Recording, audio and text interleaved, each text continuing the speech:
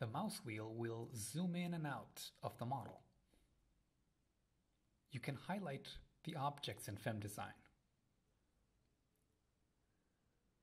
And if you right click on any object,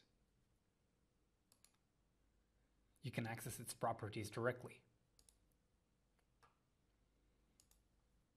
Holding down the mouse wheel and dragging will pan around the model.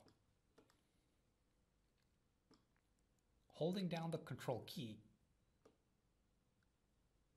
and the mouse wheel will rotate around the center of the screen. Similarly, using the Alt key, you can rotate around any point in the model.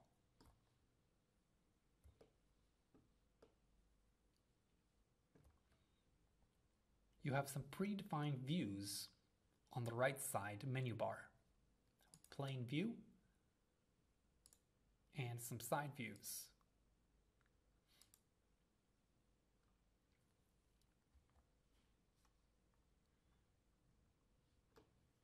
A good tool is the Alt Z command, which brings the model back into the view wherever you are in the workspace.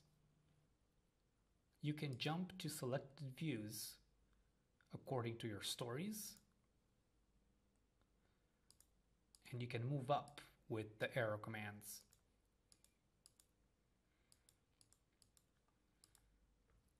Having access also lets you jump into the axis view.